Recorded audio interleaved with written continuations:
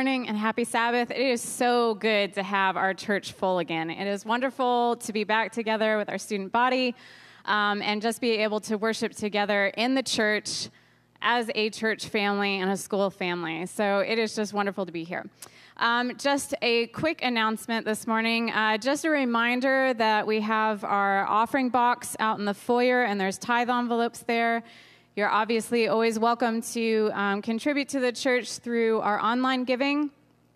And just a reminder to our church family that all of these students here that you see, a lot of them are here because of your gifts and because of the generosity of other people who just understand the. Um, the importance of a Christian education and the beauty of what this school offers and this church offers.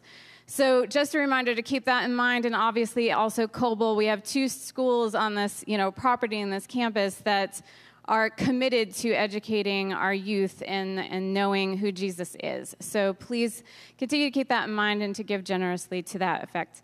Um, at this time, Josh has an announcement.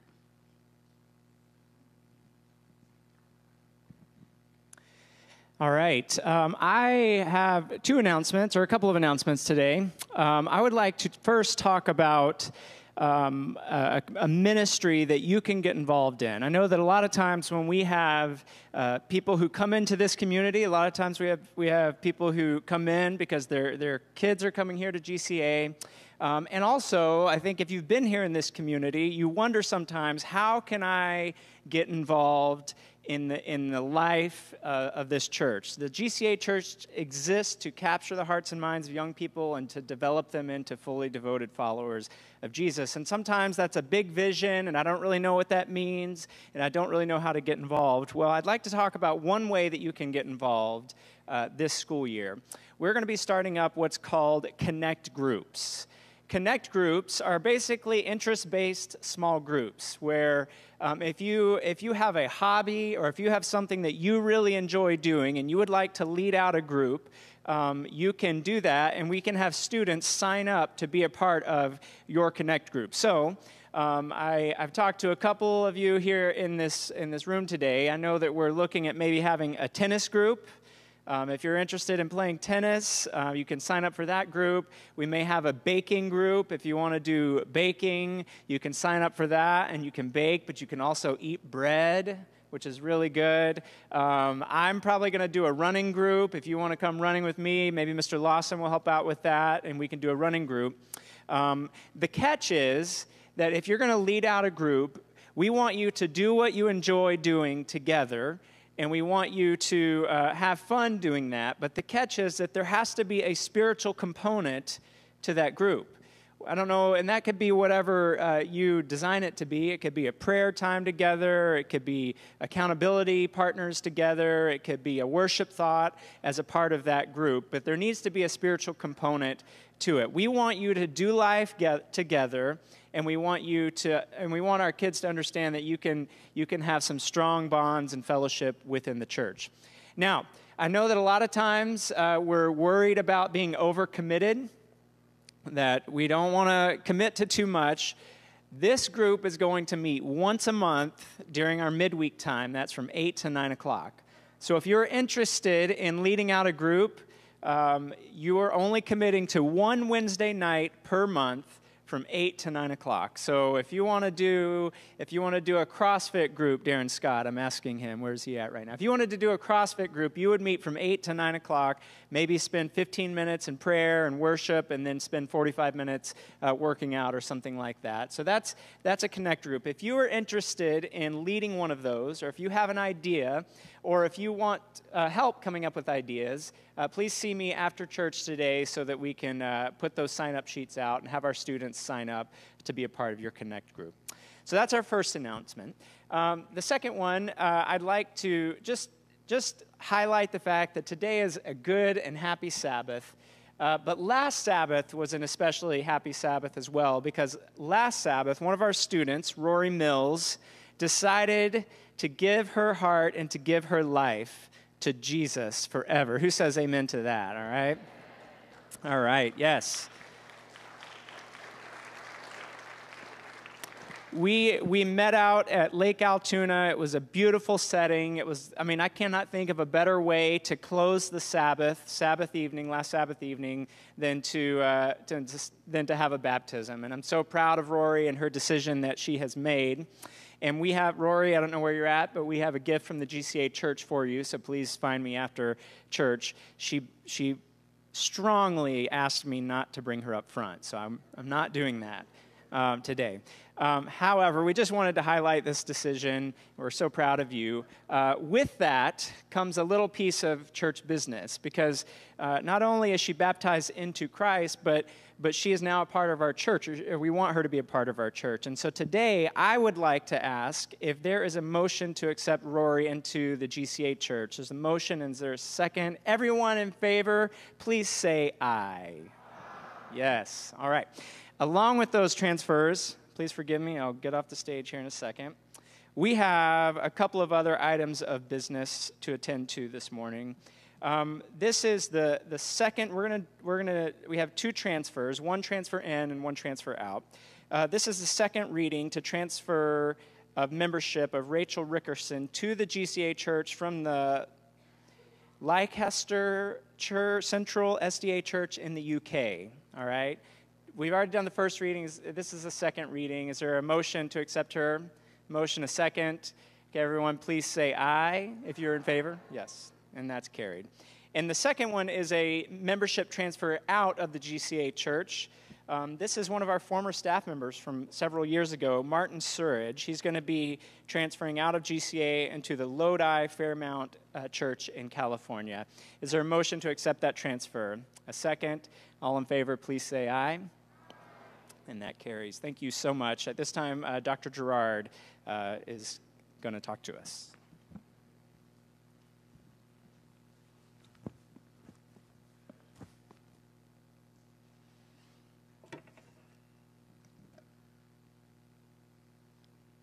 Couple of uh, things, couple things that uh, wanted to talk to you about. Uh, we, some might be wondering that a number of people here are wearing masks today. Um, the uh, Academy administration decided this past week that while we gather here at the uh, GCA church, that our students would indeed uh, wear a mask or a face covering. It is uh, optional for others who are visiting. We encourage you to wear a mask with um, what is happening with current spread of the virus in our area um, and the numbers rapidly increasing. We frankly are trying to do what we can to stay in school because if too many people get sick, then we have to go to virtual.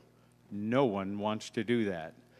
And so we need to do what we can to try to stay healthy. And some of the things that you do when you're together, if you get a lot of people into a space and those people are not able to distance, and those people are in that space for an hour, and those people are singing, which means they're exhaling a lot, then that is a circumstance where you wear a mask. So we're hoping and praying that that day will go away and we'll be able to uh, be without it. But for now, that's what we're doing. Thank you for supporting that, for helping with that, as we do what we can to try to uh, stay healthy. Every year at this time, I usually uh, make a brief uh, speech, talk about how we work together in this church as far as the church service itself.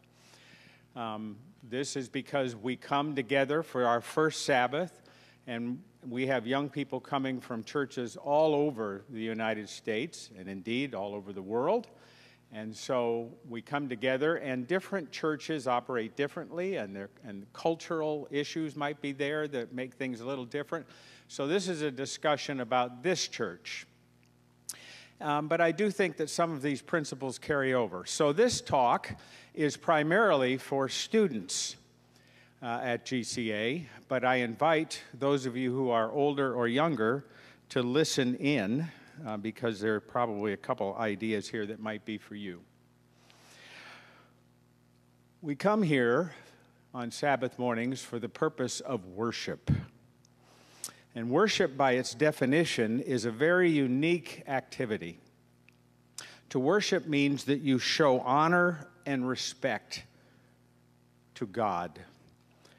One author said that worship is to honor with extravagant love and extreme submission. That's the act of worship. We come into this place and we are here for something that is very unique. It is unlike other gatherings because here we come to worship God. Worship is our act of honoring, respecting, loving, and being in submission to God. God is the focus. We are not the focus. When we become the focus, we take the place of God. When I walk through the back door and I enter this space, it is a unique and different space. The Bible talks about the common, or also called the profane, and the holy, and they are different. Different. The Sabbath is actually holiness and time. The time of the Sabbath is different from the rest of the week. This space is dedicated, built, paid for for the purpose of honoring God.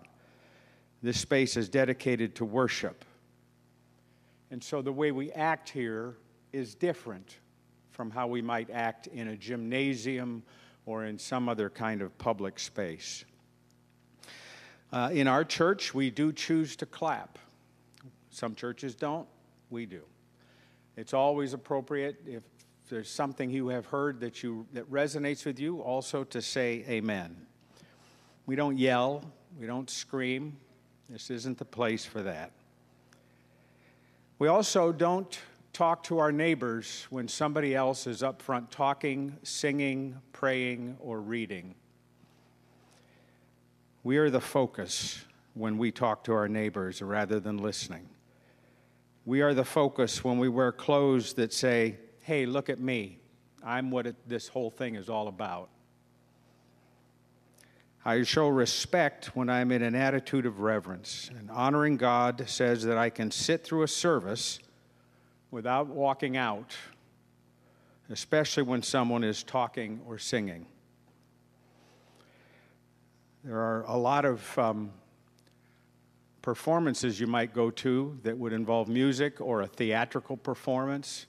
And if you show up late, you will be held at the door and you will not be allowed to go in because it is an act of disrespect to those performing as well as an interruption to that program. And you're encouraged not to stand up and walk out just because you all of a sudden get the urge to do something different. What we're doing here is far more important than any performance or theatrical performance. It is worship. So we prepare in advance, we think about it, we use the restroom, we get a drink, we do what we have to. We don't stand up in the middle and walk out. Earlier, we heard some beautiful prelude music. That prelude music is for the purpose of preparation for worship. When that music starts, actually, we kind of have our other stuff taken care of and we're thinking about the fact that we're getting into a mode of worship and that we're going to focus on God and not on ourselves or not on the people around us. Because we are in this place and we are paying close attention, then the people that are up front, we're showing respect to them. Students or other people up front, whatever it is they're doing, praying, talking, uh, reading, uh, singing, performing music, we show respect by paying attention, by not talking. We show respect by our posture also. If you're a toddler or a baby, then you may not be able to stay upright for a long period of time, and you have to kind of flop over and, and get all weak backed and, and, and take a little nap. By the time you've hit the ninth grade, we assume you're past that. So if you're having trouble understanding what I'm saying, sit up. It's not your living room. We also understand a rhetorical question. A rhetorical question is one that does not demand an answer from you. And so, if the pastor asks a rhetorical question, It does not mean that you turn to your neighbor and say, Well, let me discuss it with you that at length, that question that was just asked, and we all degenerate into a lot of discussion. That's a rhetorical question. A rhetorical question is for the purpose of you to think about it. Um, during our prayer, we have a, a prayer in the service, uh, and it, that prayer, that pastoral, what is typically called a pastoral prayer, that prayer, we almost always kneel for that prayer. And so as we kneel, we kneel together, and the prayer is made, and at the close of that prayer, the organ will almost always play a short piece of music. That's prayer response music. That is a time at the end of the prayer when you can think about and reflect on what has been said in that prayer, perhaps even silently adding your own prayer to what has been said. We stay on our knees until that brief piece of music is completed, and then we get up and we sit in our pews. And at the close of the service, we also will take most of our talking and, and our interaction, which are all good things, but we take it out to the lobby or outside. There oftentimes may be postlude music, and you're encouraged to stay and listen to that also. Also, is a time for reflection. A worship service is a joyful experience, and any, everything I've just said is not for the purpose of making it dour or negative. It is celebration but it is a celebration that is not focused on me, it's focused on God and what He has done for us. Thank you.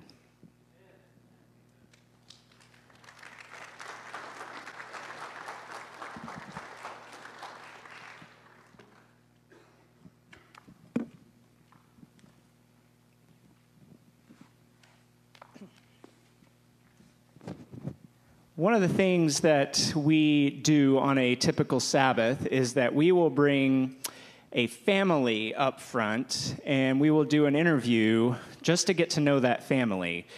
Uh, we, uh, we are a GCA church family and, and we want to make it a point to just to get to know each and every one of the families. Well, today, I'm not bringing up a family because really, if I were to interview the Kirstein family, we would need a whole service just to, just to kind of understand the Kirstein family. But I'm bringing up one person of the Kirstein family, and we'll talk about that here in just a second. But this is Zach Kirstein, and I uh, am bringing, up, bringing him up here because he's about to do something epic.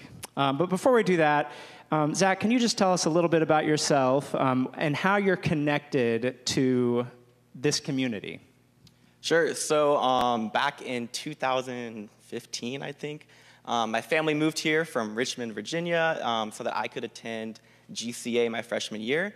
Um, I graduated in GCA uh, 2019, and I had an absolutely amazing experience. And my brothers are here, Cameron and Tristan as well. So yeah, it's part of my GCA experience. So real quick, what was a, a couple, what were a couple of things that you enjoyed about your time at, at GCA? Oh, there were so many, but um, one of the things that I enjoyed the most was the music opportunities, um, Mr. Torsney and the praise band experiences, also leadership experiences that I was able to get at GCA, and the education. Um, guys, this is a really good education, and Southern, like, it was, it has been so easy to transfer there, um, so it has been absolutely amazing going from there.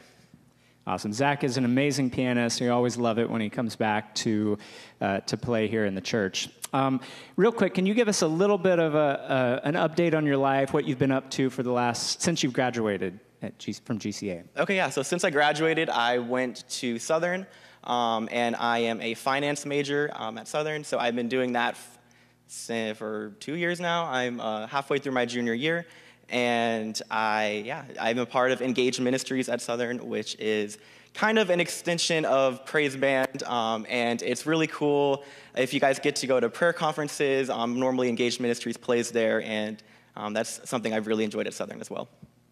Awesome. And this summer he's been uh, interning at Advent Health Gordon, so um, just, just don't forget me when you go big, okay? And just Chaplain Josh, just remember that. Um, so so I brought you up here today. We, we want to get to know you, but I brought you up here for a specific purpose because this year Zach is going to do something kind of outside of normal, I guess you would say. Um, you're deciding to take a whole year off of school and tell us what are you going to be doing in this next year?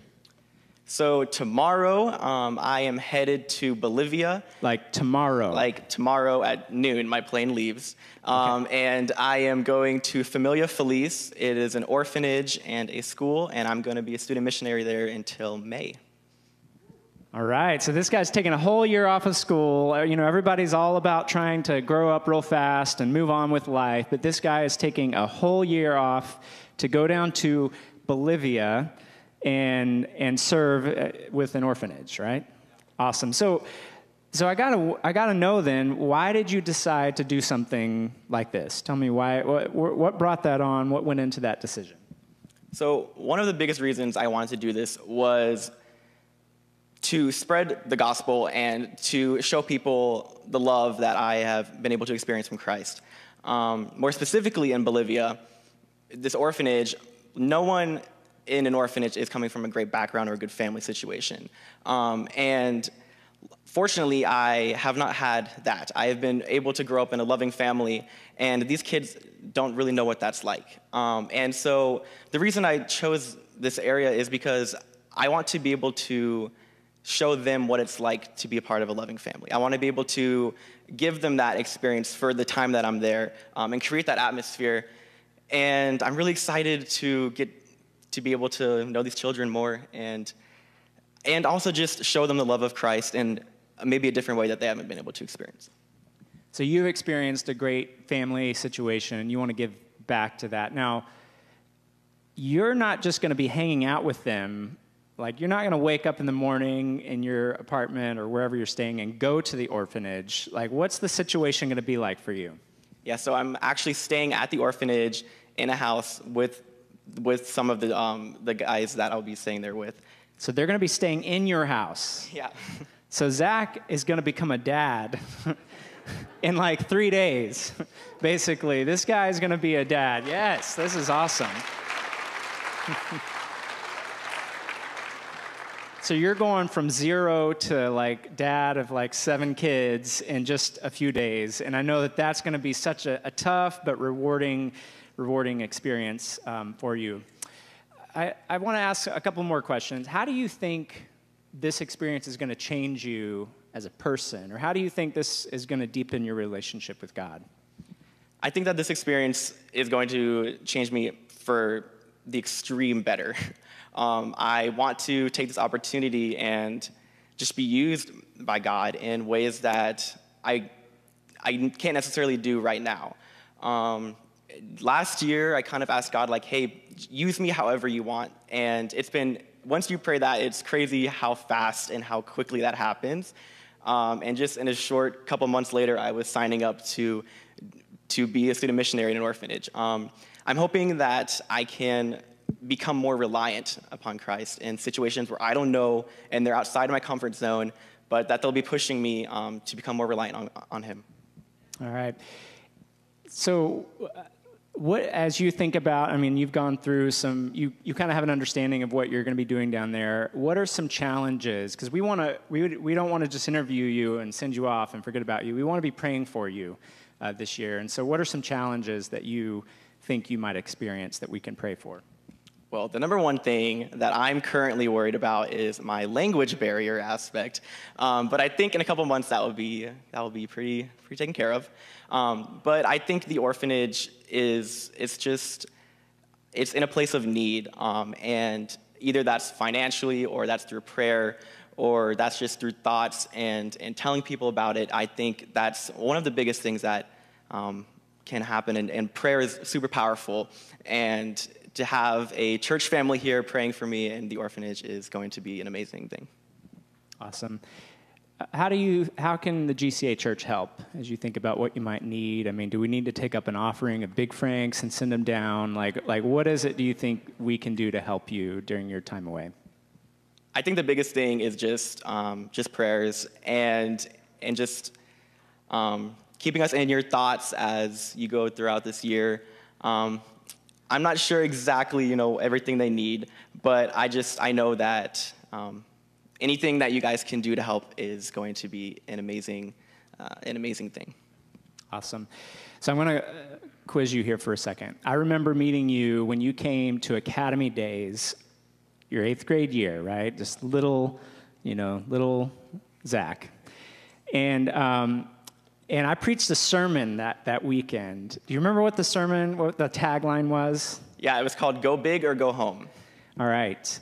And, that, and, and that's uh, one that we've talked about before, that, that, that uh, idea. And, and uh, dude, you're going big.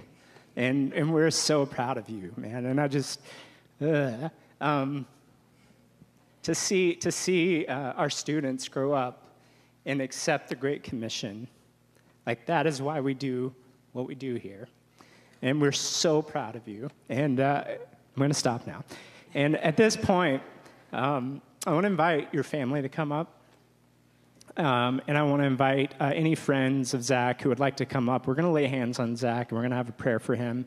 I'd like to invite the elders to come up as well. I definitely want the I, I definitely want the family to be here to um, to lay hands on on Zach. I know that this is a, a, crazy experience, and we just want to send you off with a word of prayer. And I'm going to ask Mrs. Gerard to to uh, to to pray for us. Our alumni director is going to pray for one of our alumni as we as we head off as he heads off tomorrow.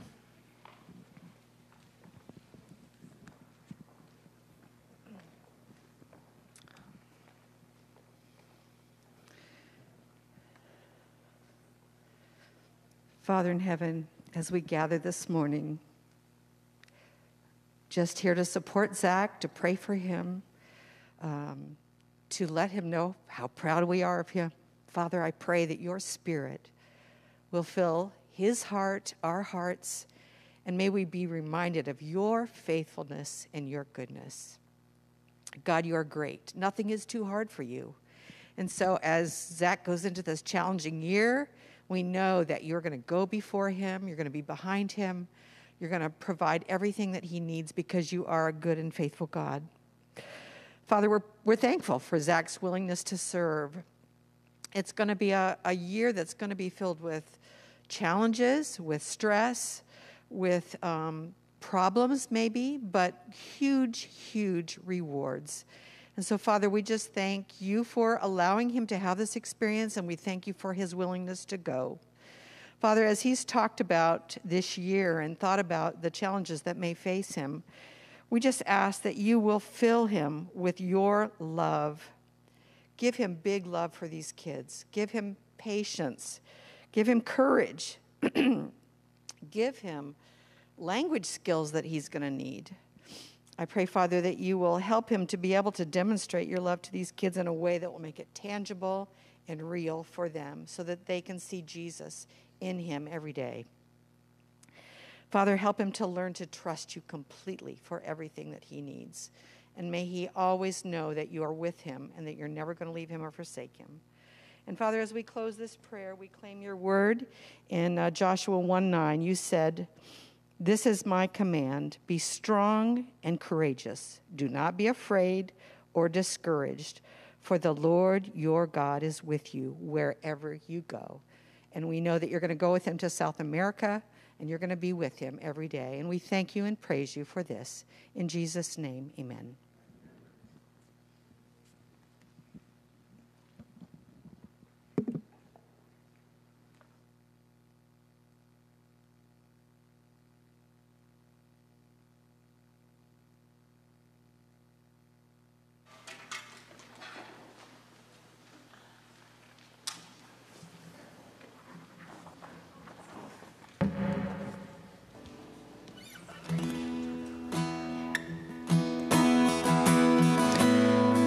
It's always good. It's always good to be back. And I know you can hear me really well. That's good. This is one of my favorite songs to start a year off or even start a service off because a lot of time, like Pastor Josh said yesterday, we come and we worry about where we are in our state of life, the sins that we have committed or the failures that we have. And with all the new people that are coming in right now, this is an opportunity for us to, to leave them outside and come before the throne of God as sinners and as failures and as people that mess up and lay ourselves down before him and celebrate who he is in our lives and what he can do. So we're going to ask you to sing with us. We're going to ask you to stand so you can sing. And just take the words of this song in. We are all all sinners. We are all poor and needy of Christ's love. And that is what we are here, is to, to celebrate that and worship God today.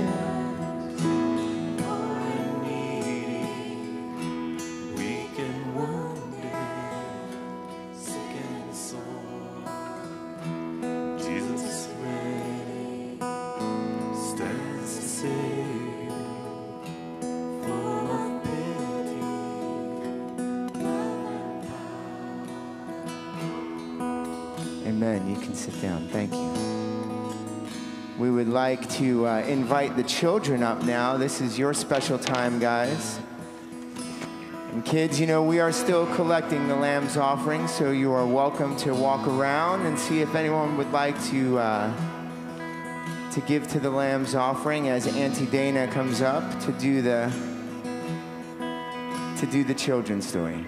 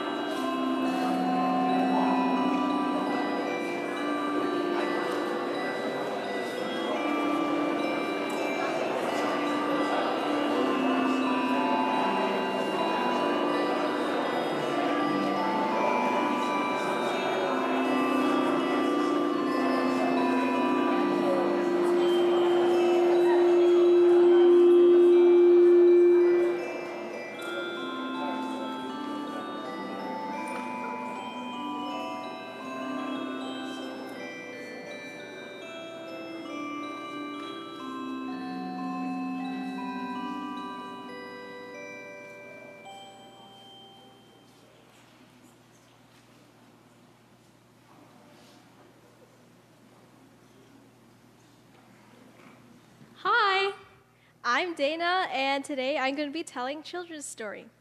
So, once upon a time, there was this chocolate cake. Do any of you guys like chocolate cake? Well, I have a massive sweet tooth, so. This chocolate cake was unlike any chocolate cake you've ever seen before. Me and my mom made it, and we put a condensed milk thing on top so that it had like the perfect texture. It was like, it was really good. And on top, we had whipped cream and Oreos, and I love Oreos. So I started to get to the age where I could be left alone. So my parents were starting to let me be alone in the house. Um, and this was a big responsibility. Um, my mom, she made this whole list of things for me to do. So I had to clean my room, and I had to practice piano, and I had to put the dishes away and reload the dishwasher. So my parents were gonna leave, and I was like, "Bye, I love you." I was just excited to be alone in the house. I could play whatever, like loud music or whatever. So I cleaned up my room, and I was thinking about that chocolate cake. And I was practicing piano, and the whole time I wanted a piece of that chocolate cake. And I put the dishes away, and guess what I was thinking about? Yes, the chocolate cake. So I was reloading the dishwasher full of the dirty dishes, and I put the last one, and I thought to myself, wow, I deserve a piece of that chocolate cake. But I wasn't, I wasn't allowed to have it, and I was alone in the house, so I, I definitely shouldn't have. But I thought that I, I worked so hard, and I just deserved it. So I reached into the refrigerator, and I got the cake out of it.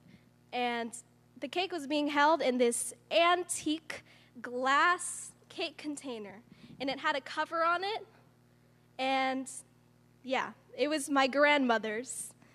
So I took I took it out and I put it on the counter. And the thing about the cake was it was eaten just enough so that if I cut it like in a certain way, no one would notice that any cake was gone. So I put the I put it on the counter and I took the cover off and I put it on the edge of the open refrigerator. Why did I do that? I have no idea. Um, so I got a knife and I started to cut the cake. And I turned around, and the refrigerator door closed and knocked the glass cover onto the ground, and it shattered into a million pieces. And I screamed because I was so scared. And I didn't know what to do. I couldn't believe what just happened. Um, so I kind of started to clean it up, and I waited for my parents to come home. My mom came home first. So I went and I told her, I was like, I'm so sorry, I broke the antique glass, my grandmother's cake holder. And she was like, Oh no, your dad's gonna be so mad at you. He's gonna, he's gonna be real. he's gonna he's gonna take your DS and he's gonna take your Wii and he's never gonna okay, my mom didn't say this, but he's never gonna love you ever again. That's what was going through my head. So I was just waiting there for my dad to get home. And he came home and I met him outside because I was I was so scared. I needed to tell him right away. And I was crying and I was like, I'm so sorry, I broke the cake container. And I thought that he was just gonna be so mad at me, but he he forgave me. He didn't get mad at me at all, and he gave me a hug and he said it was okay. So, when I was thinking about what I was going to talk about for children's story today, I thought of this story, and it reminded me of how God is with us. Every day, we make so many mistakes. We make so many horrible mistakes. But no matter what we do, He always loves us. Nothing that we ever do will ever stop God from loving us. So, anytime you feel like you really messed up big time and God doesn't love you, it's not true because He always does. Let's pray. Dear Jesus, thank you for the Sabbath day and that we can all come together and worship you. Thank you for this new school year. It's really exciting. Um, please be with everyone throughout the rest of the church service. And thank you for everything you do for us. In Jesus' name, amen. You can go back to your seats.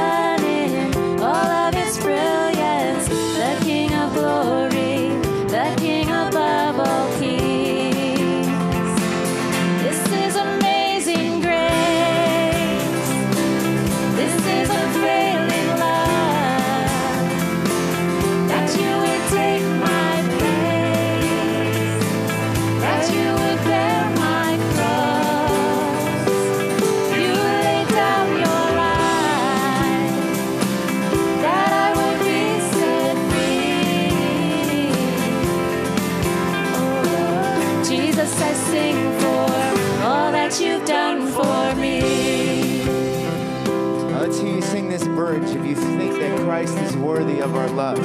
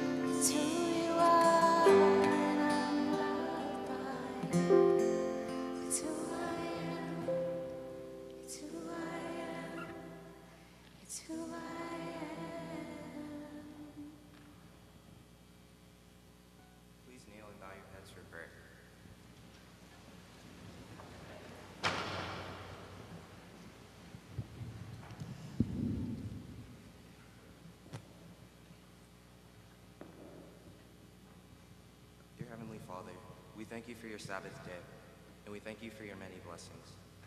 Father, we thank you for this first week of, we, for, we thank you for this first week of school, and we thank you that we're able to gather in the church.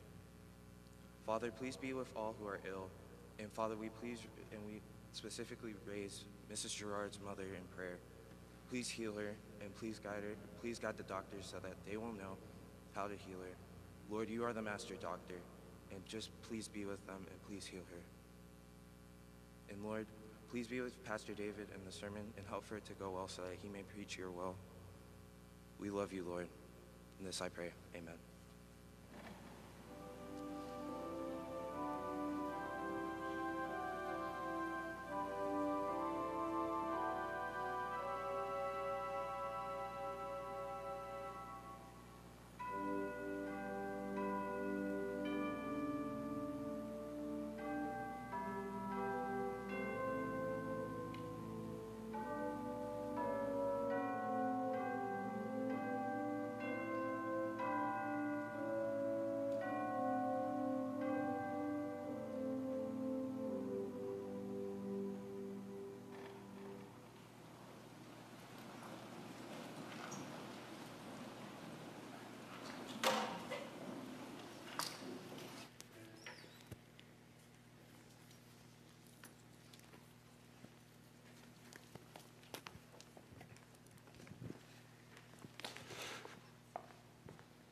First of all, students, welcome. It is so good to have you back with us. It feels like a different place. When, yeah, thank you, Mrs. Gerard. We had one clap for that. I, I know everyone else had it in their heart. Yes, we've been missing you, so thank you for being here. And I promised myself I wasn't going to make any gym references. We've done that already. But I also just want to say that it feels good to be able to see your eyes. Because before, when we were here to get, there together, I couldn't even see you. And so now I can hold you accountable. I can tell if you're falling asleep or if you're chatting it up, and I'm watching. That's the point. So it feels good for us all to be back together. And I just also want to remind us that it's such a blessing to have the diversity of ages come together. And, and one of the things we like about our church is that we all get to worship together, and it's a unique environment. And so I just want to encourage you, younger students, to reach out to some of the old people that you see here from week to week. Not all at once today, you outnumber us, okay? So, not all at once at the same time. Um, but throughout the year, uh, take advantage of this moment when you see people that you don't know and that you don't see working for you at school, especially, introduce yourself sometime to them. Because the truth is, some of them may be a little scared of you, right? And so make the first step. Older people, don't be scared of them. They're not that scary. So try to once in a while bridge those gaps and meet someone new while you're here at church. But we're all happy to be worshiping together. Let's, let's start with one more word of prayer. Father God, we just pray that you will speak to us this morning, that we will understand who you are better. May we learn something of you, we pray. In the name of Jesus, amen. Rachel, Rachel had a problem in that she kept losing her money. And when I say losing her money, I don't mean that she was misplacing her money. I don't mean that she was like sitting it somewhere and it would disappear. Rather, it kept disappearing from her bank account, which is a problem if you want to have money in your bank account. And she be, she's had this problem, but just kind of started all of a sudden. And she started tracing back what happened prior to this. And she realized there was a moment where she had gone out to eat and she had her purse sitting behind her. And someone came up and brushed up bes- beside her and her wallet or her purse was gone. And in her purse, not only did she have her credit cards and her driver's license, but she also had her social security card. And so she put two and two together and she realized this must be the moment where things went wrong. This is identity theft, and someone has my information and they're taking money out of my bank account. And there was nothing she could do about it, it would just simply disappear. And so she decided to close her bank account and open a new one to kind of lose the trail of whoever was after her. And it started happening again.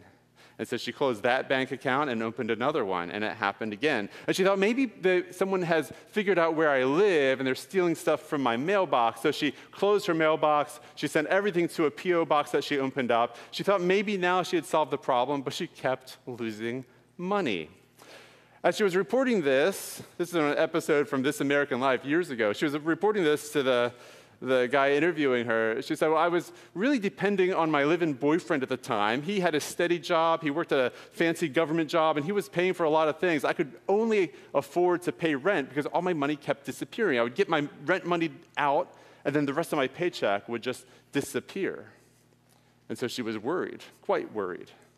Well, over time, she got so paranoid about people taking her stuff, she closed all of her bank accounts and started holding on to just cash. And she got down to where she just had $2,000 left. That was all she had to her name, put it on a cashier's check, and hid it in her drawer in her bedroom where nobody could possibly find it. Until one day she needed it. She went to her drawer, and that check was gone. And it suddenly occurred to her that there was one person who knew where that check was. And she went to the bank, and sure enough, as they gave her a copy of the cashed check, she could recognize her boyfriend's handwriting as he had forged his signature or her signature onto that check. This guy, this is pretty bad, right? Like, this is like bad relationship situation. As she started to unpack things, she realized everything she thought she knew about this guy was totally wrong. He didn't have a job. He faked having a job, and he had been living off of all of her income that he kept taking from her bank account. And the person that she was engaged to, actually, to marry, was the person that had been plaguing her for years. Sometimes the person that we think we know best, we don't actually know at all. Sometimes people that we think we know a lot about them, it turns out there's things about them that we don't know. And that's a pretty negative start, actually. But it happens both ways. If you ever had someone in your life that was the opposite, where you meet them for the first time and you think you don't like them at all, and you think you know who they're, and what they're about, and you're like, I would never be friends with them. And then one day you find out, well, actually, maybe we can be friends. Maybe you start dating that person, right? Like these things kind of happen. People, you think you know who they are, and then you one day discover you don't actually know who they were. You made assumptions, and sometimes your assumptions were right, and sometimes your assumptions were wrong. Well, today we're starting a series about God, and it's called God is Not. And what we're doing this series is we want to challenge some of our assumptions about God, to look at some of the things that we think we might know about God, or things that maybe have stuck with us either in a very deliberate way, or sometimes we've just kind of picked that up along in our journey, and question are these things right or wrong? And so today we're starting with the idea that God is not actually angry, and we'll unpack that. But first, I want to start with Moses. There's this, uh, this verse in Moses, well, and we're, going to be in Exodus 34. You can start turning there. And there's this verse in Exodus 33, preceding 34, chapter 34, where Moses says to God, Show me your glory. In my version here, Moses says, Show me your glorious presence. This is verse 18. Verse 19, the Lord replies, I will make all my goodness pass before you, and I will call out my name Yahweh before you. I will show mercy to anyone I choose, and I will show compassion to anyone I choose. But you may not look directly at my face, for no one may see me and live. And the Lord continued, Look and stand near me on this rock as my glorious presence passes by. I will hide you in the crevice of the rock and cover you with my hand until I have passed by. Then I will remove my hand and let you see me from behind, but my face will not be seen. The first step in understanding who God is is you have to be willing to step into this and be ready to see what's actually there. For Moses here, he asks God to show him his glory whatever this is, whatever kind of danger this may bring, let me step into this moment and you show me who you are.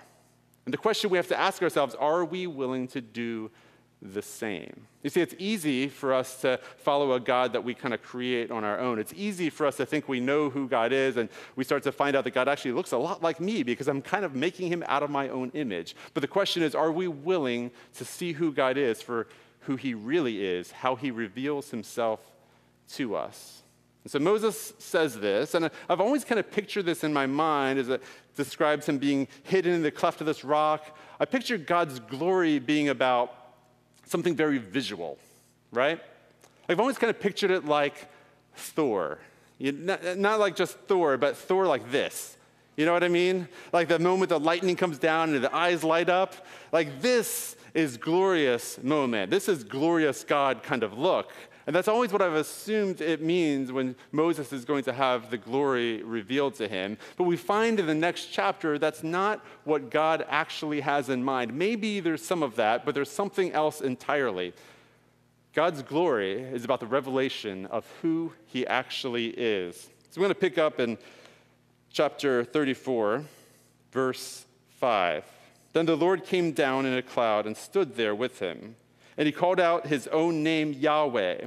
The Lord passed in front of Moses, calling out, Yahweh, the Lord, which is basically, in the original, he's saying, Yahweh, Yahweh, the God of compassion and mercy. I am slow to anger and filled with unfailing love and faithfulness. I lavish unfailing love to a thousand generations. I forgive iniquity, rebellion, and sin, but I do not excuse the guilty.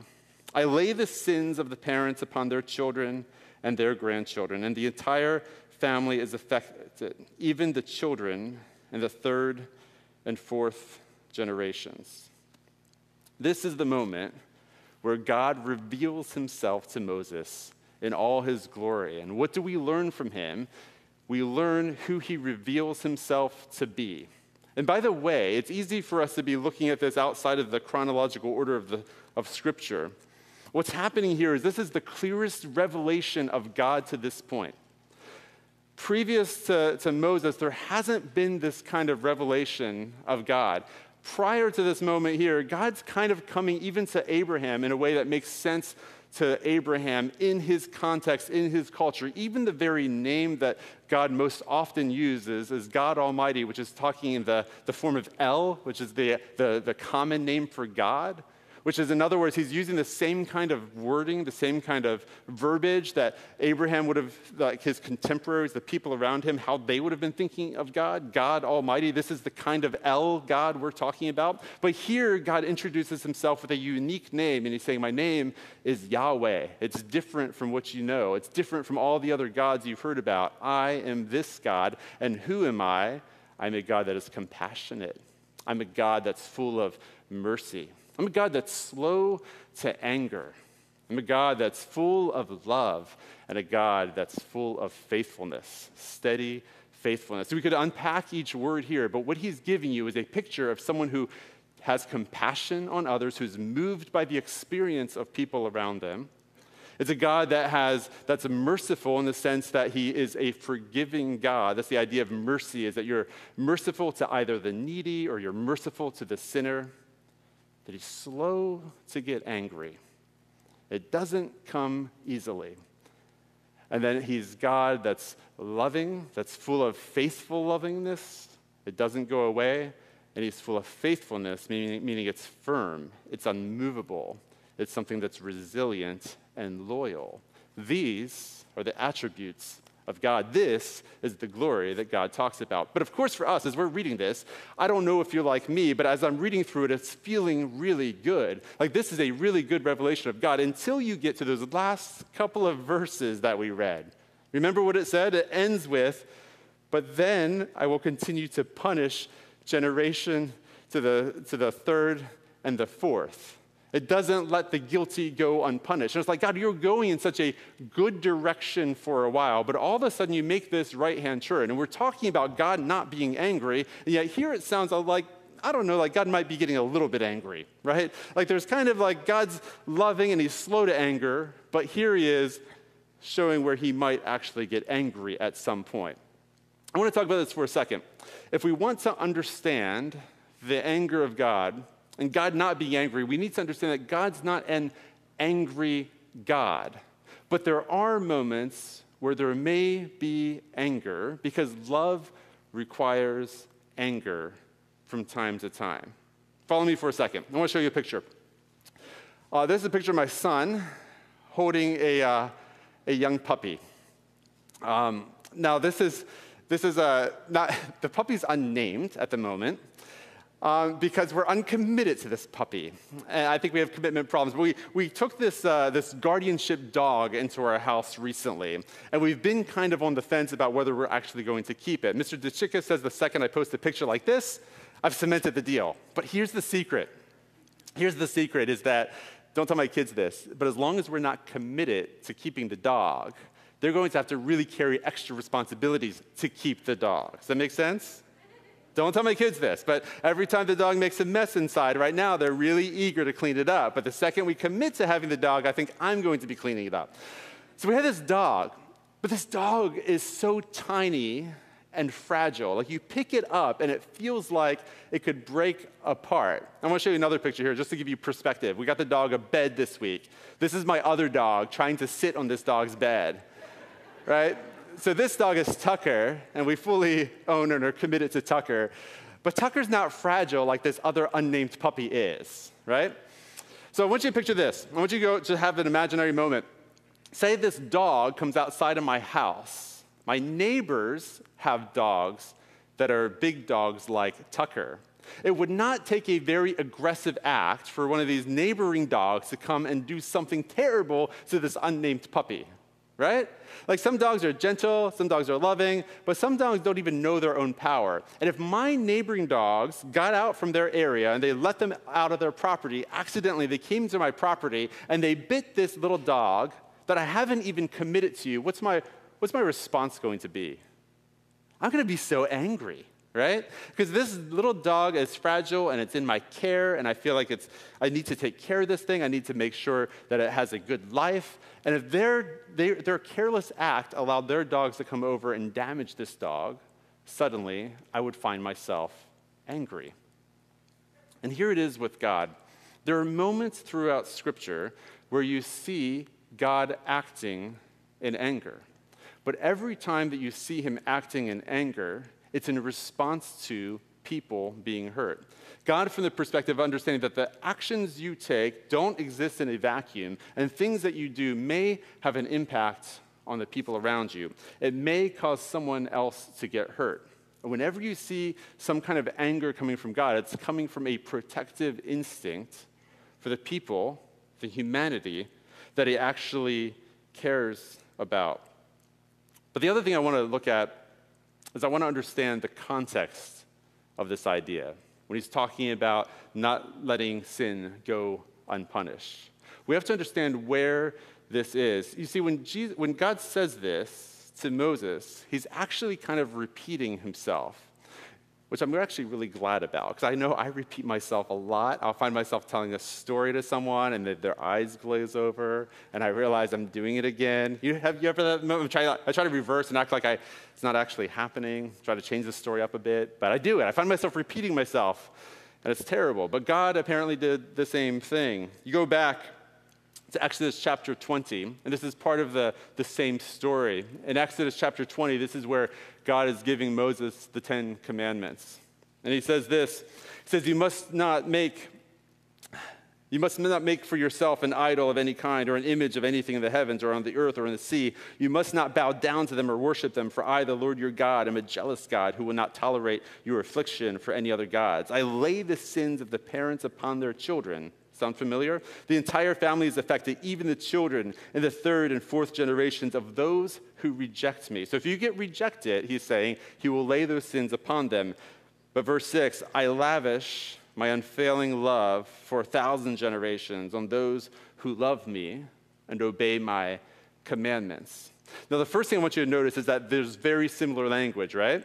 It's reminiscent of the thing that God will say just a few chapters later. The other thing I want you to notice is that he's making a clear contrast. There is judgment involved in the verse, but it's only to the third and fourth generations. When it comes to his mercy and to his loving kindness, it's for a thousand generations. And so, what God is effectively showing is that this thing's not actually balanced. When we're talking about his mercy, when we're talking about his love, when we're talking about his patience, it's very heavy in one direction. When it comes to his judgment, it's a little bit lighter.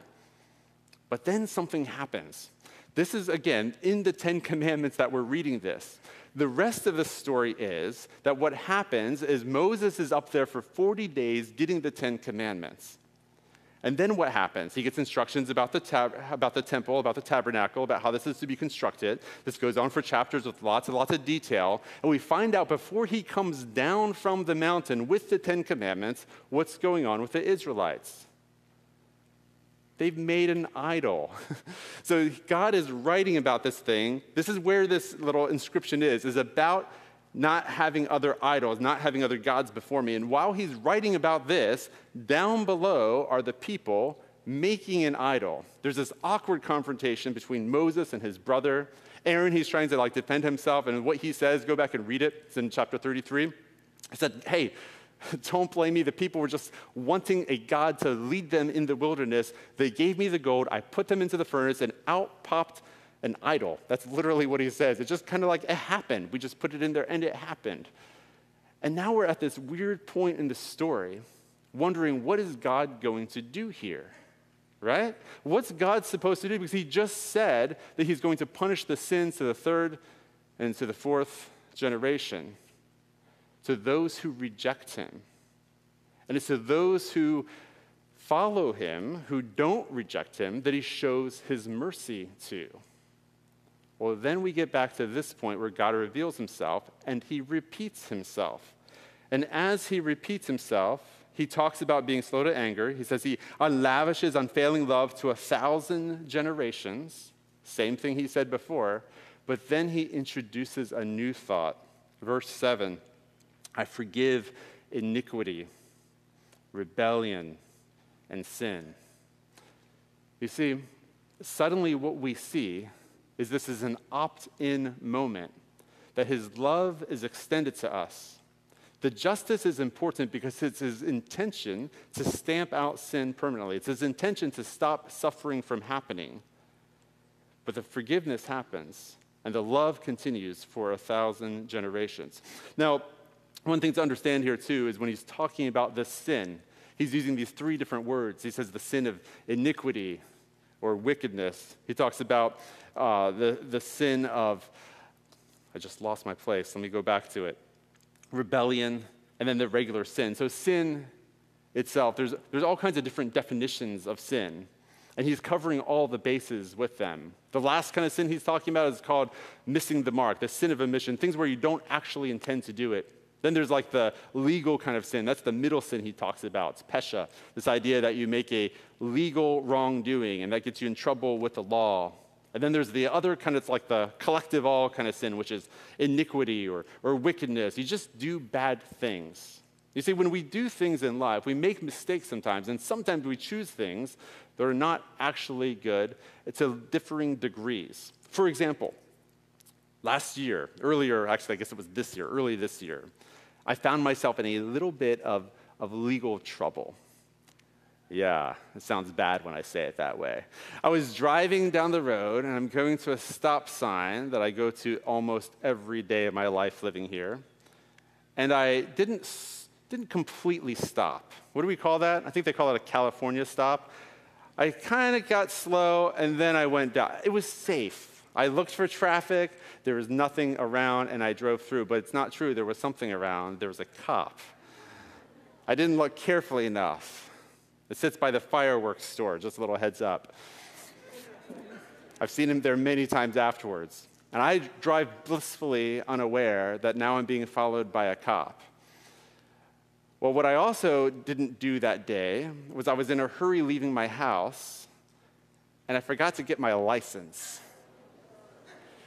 So let me go back to the, the stop sign. I didn't realize when I went to the stop sign that I didn't stop. It was just a bad habit of mine. When I left the house, I was in a hurry and I thought to myself, I should get my license. But I never get pulled over because I drive the speed limit. I'm a safe driver. This isn't going to happen. And so I intentionally violated the law there.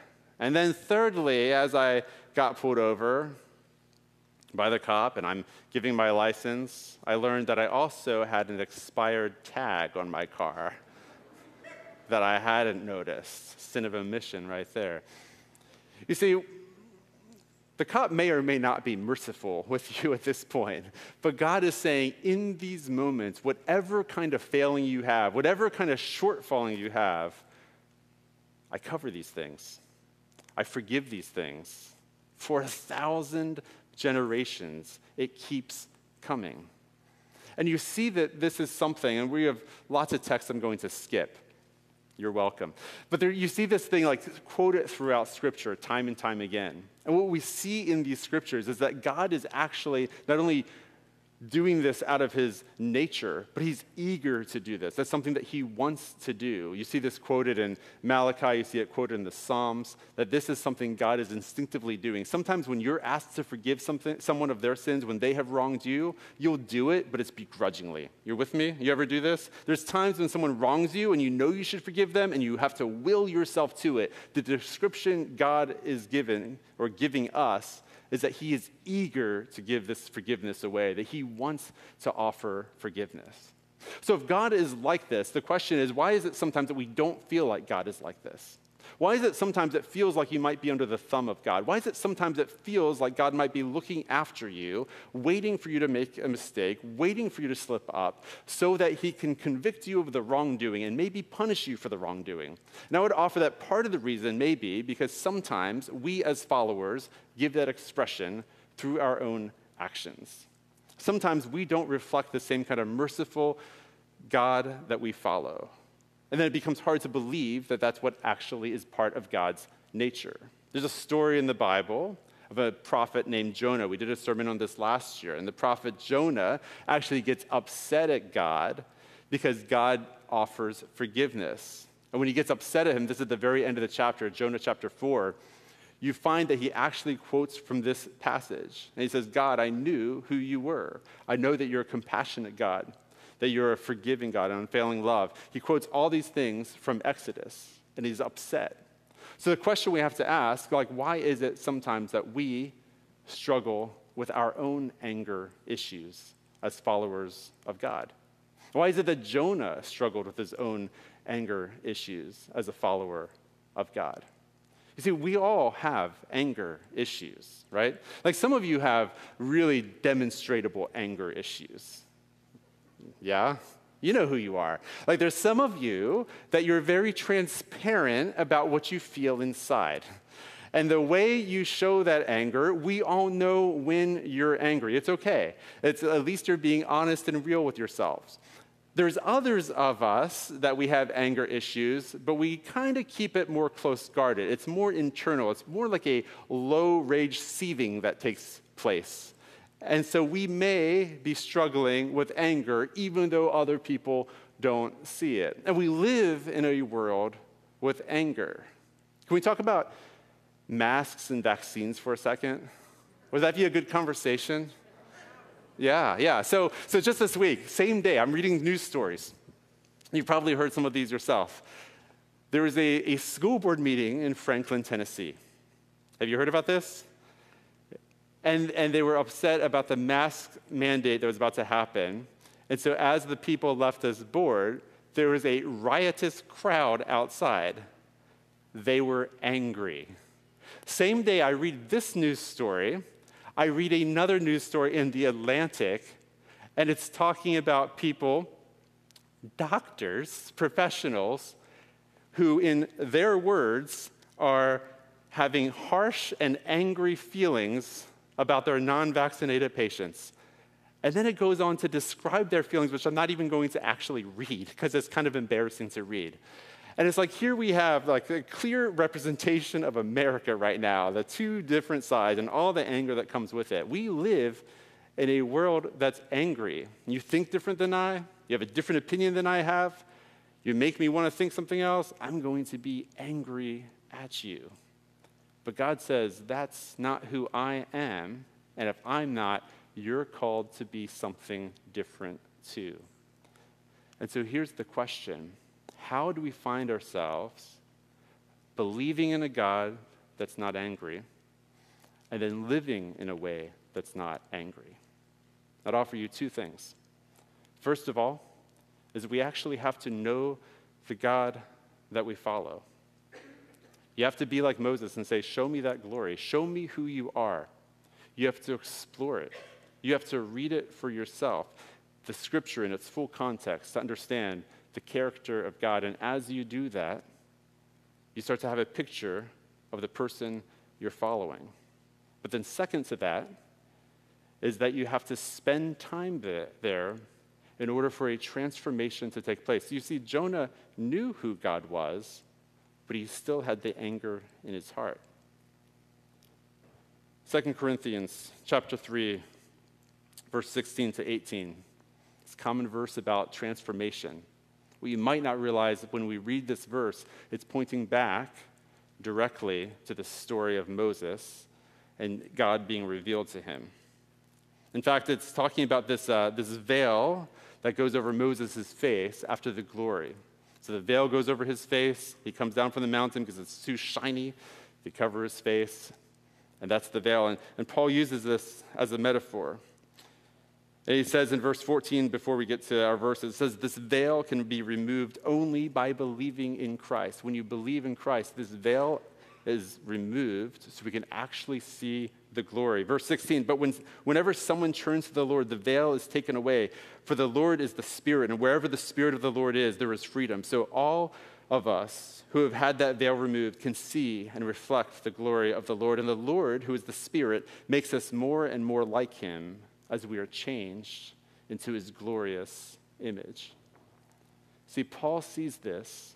He sees this story and he says that not only do we understand God's glory by his character revealed, but we find ourselves, as we encounter this story, finding ourselves having that glory reflected in our own lives. It changes who we are. John chapter 17, Jesus talks about him being the most clear place to find that glory, also referring to the same story. 17, verse 6 I've revealed the Greek here is your name. To those who, have, who you gave me out of the world, they were yours. You gave them to me, and they have obeyed your word. Verse 24 Father, I want those who have given me to be with me where I am and to see my glory, the glory you have given me because you loved me before the creation of the world. In verse 26, I have made you, your name, known to them and will continue to make you known in order that the love you have for me may be in them and that I myself may be in them. See, Jesus recognized that he's the most clear expression of God's glory that we have. Ellen White talks about it as God's thoughts made audible.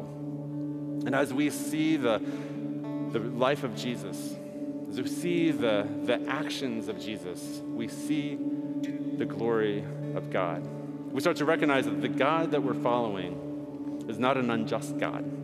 The God that we're following is not an angry God, but it's a God who loves us, God who is compassionate with us, God who is merciful with us, God who is faithful to us, and a God who has steadfast love in us. And he says, As you see me, you see the Father.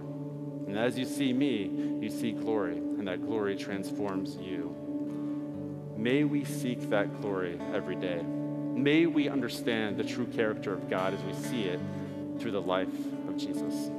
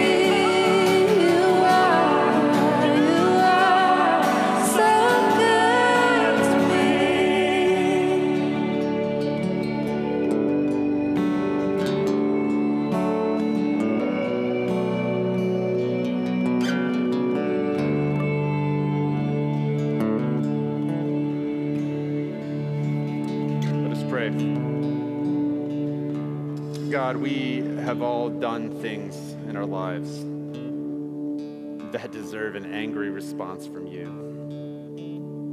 But your response has instead been goodness, forgiveness, and grace. You came to this earth and you spread your arms and you died on a tree in response to our sin. May we see the goodness in you as your true glory, we pray. In the name of Jesus. And all God's people said, Amen.